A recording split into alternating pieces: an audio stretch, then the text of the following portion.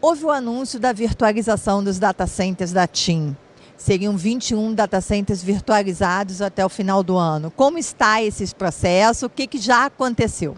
Bom, você lembra muito bem no, no último painel da Telebrasil em uh, Brasília. Em maio falamos de 21 data centers da TIM Brasil, que era nosso plano desse ano. O plano está completamente uh, encaminhado. Estamos completando a ativação dos 21 data centers. Eram 10 data centers core, onde estamos virtualizando a funções centralizadas, e 11 data center edge, onde estamos centralizando, distribuindo as funções de user planning, que são mais intensivas em tráfego. O que isso proporciona para um cliente final? Que na verdade a pergunta também do painel de, de hoje pela manhã foi, mas toda essa infraestrutura elástica, virtualizada, autônoma, automática, o que, o que redunda para um cliente final?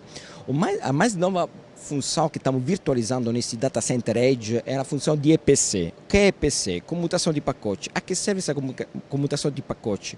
Para aproximar os conteúdos mais utilizados pelos clientes, falo de Facebook, Netflix, WhatsApp, Google, YouTube, para o cliente final. Isso significa que um cliente poderá experimentar mais rapidez, mais velocidade em acesso ao conteúdo que ele costuma utilizar. 70% do nosso conteúdo da rede hoje é Google, Facebook, Netflix. Então, o primeiro efeito benéfico de qualidade de cliente é ter um acesso mais rápido a conteúdos. Sem latência. Com baixíssima latência. Isso também prepara a infraestrutura da TIM para o 5G? Com certeza, com certeza. O Core 5G, um dos paradigmas arquitetural de um Core 5G é um Core distribuído. Fala-se de CAPS, o Central uh, Control User Plane Separation. Então, essa separação arquitetural que já estão fazendo no 4G para LTE é uma arquitetura pronta para 5G. A gente fala de 5G readiness. Esses data centers, eles, estão, eles são próprios da, da TIM? Vocês não optaram pela terceirização?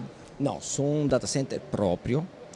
E são data center de rede, então não, não é data center de IT, apesar que vai haver uma convergência infraestrutural também entre rede e IT, já está acontecendo, mas isso que estamos construindo são data center de rede, perché di rede? Perché serve para virtualizar funções de rede.